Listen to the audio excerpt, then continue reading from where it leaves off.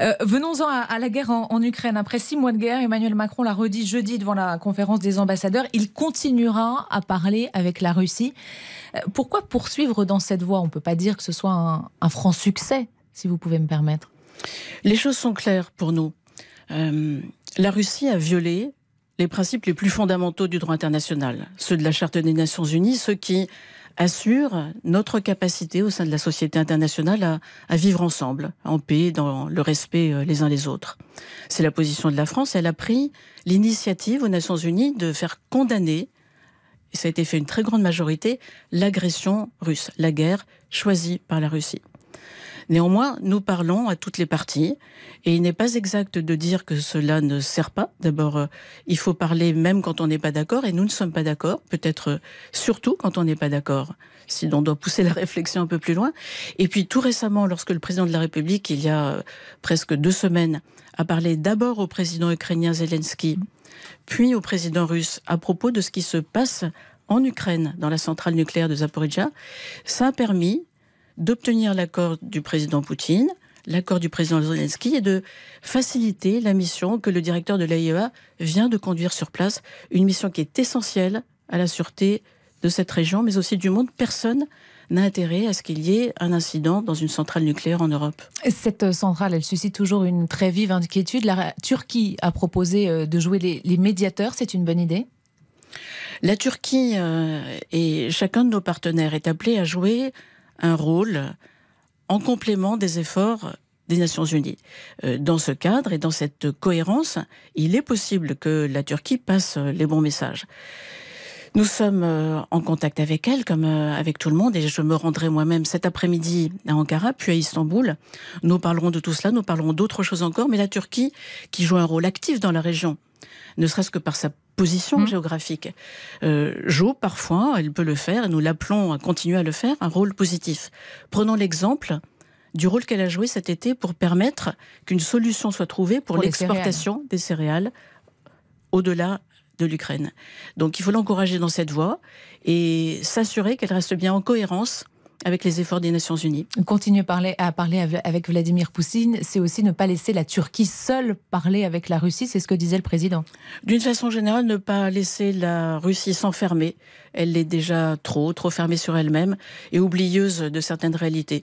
Elle n'a pas suffisamment réalisé, je crois qu'elle s'est mise dans une impasse en choisissant d'entrer en guerre et de violer la souveraineté d'un État voisin.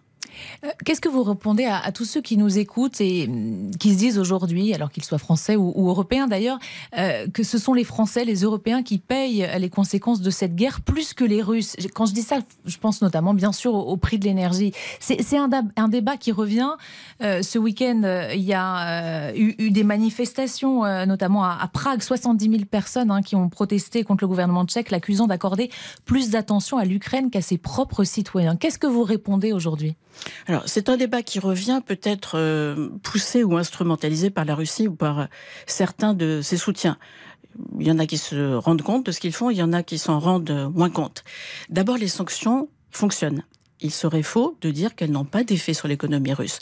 Le PIB russe est en baisse, pans euh, nombreux de son industrie sont frappés. Il a des difficultés à renouveler les semi-conducteurs, son industrie automobile a des problèmes. Et en même temps, François, pardonnez-moi, François Langlais nous expliquait la semaine dernière euh, que malgré les sanctions, la, Russie n'a jamais autant gagné d'argent avec ses exportations de, pétrole et de gaz. Je reprends juste un chiffre que nous donnait François plus de 86 milliards d'euros euh, versés par l'Europe à Poutine depuis le 24 février, depuis le début de l'invasion. Ça fait 3700 euros qui partent de l'Europe vers la Russie chaque seconde. Ça peut choquer les Français qui nous C'est un excellent point et c'est la raison pour laquelle les Européens ont décidé de réduire leur dépendance économique à l'égard de la Russie.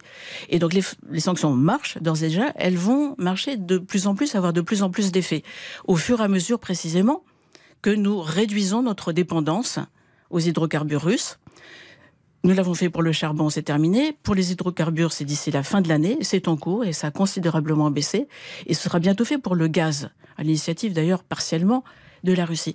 Et cela a des effets croissants puisque ça diminue la capacité de la Russie à financer son effort de guerre. Le président... Nous devons continuer et nous continuerons. Le président Zelensky demande d'autres sanctions. Il en a, a fait la demande ce week-end. Euh, il peut y avoir d'autres sanctions? Il peut y en avoir d'autres. Lesquelles? L'Europe a déjà pris euh, six trains euh, de sanctions, plus un septième, même si on ne l'appelle pas officiellement un septième. Il y a d'autres possibilités de sanctions, notamment individuelles. Un autre pan de notre action, c'est la lutte contre le contournement des sanctions. L'Europe a pris des sanctions, les États-Unis aussi, un certain nombre de pays euh, alliés et partenaires également, mais euh, d'autres n'ont pas adopté une politique de sanctions. Par exemple, la Turquie, où je me mmh. rendrai cet après-midi. Il est important de s'assurer que des pays qui n'ont pas pour eux-mêmes adopté des sanctions ne servent pas de plateforme de contournement des sanctions adoptées par l'essentiel de la communauté internationale. L'objectif, c'est toujours l'asphyxie de l'économie russe dont avait parlé L'objectif est d'empêcher la Russie de financer son effort de guerre et de la conduire à mettre fin à son agression.